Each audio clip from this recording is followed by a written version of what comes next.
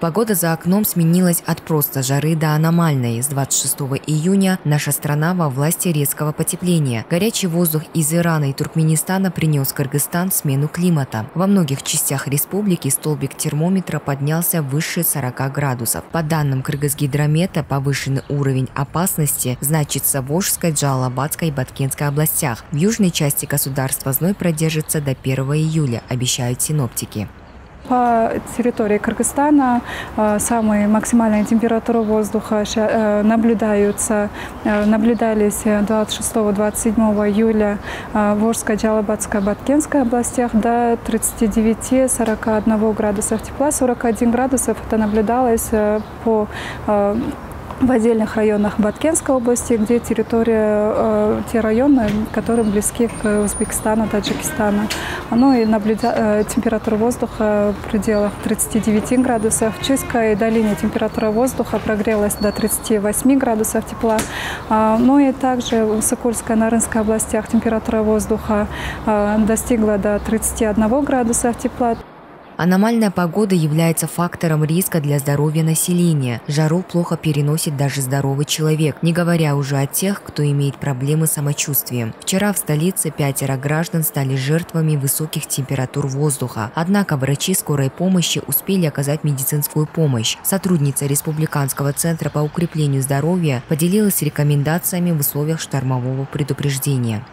Наступление жары очень опасно тем людям, которые имеют сердечно-сосудистые заболевания, а, а, лишний вес, сахарный диабет и бронхиальную астму.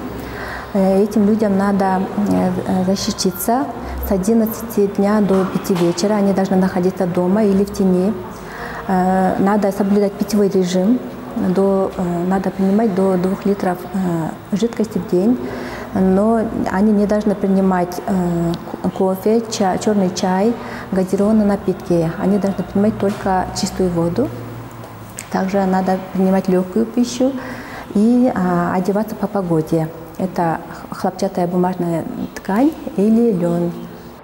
Как обещали синоптики, температура воздуха в столице достигла 40 градусов. Людям приходится трудно, воздух нагревается и от раскаленного асфальта дорог, и от стен некоторых зданий. И все же, как горожане спасаются от палящей жары?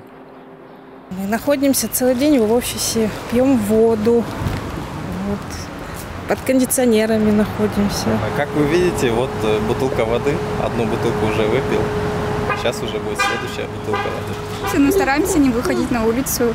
Э, ну, стара, э, желательно вечером после шести, либо после восьми.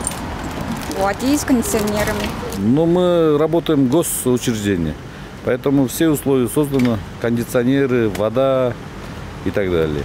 Советов по улучшению самочувствия довольно много, однако самые простые из них – поменьше бывать на солнце, проветривать помещение, следить за своим состоянием, а также употреблять как можно больше прохладных, но не очень холодных жидкостей. Людей, имеющих проблемы со здоровьем, призывают по возможности сократить перемещение на улице, а также работу в эти дни. Напомним, повышенная температура продлится до 30 июня. Айганыш Кадралиева, Вячеслав Кравченко, Пятый канал.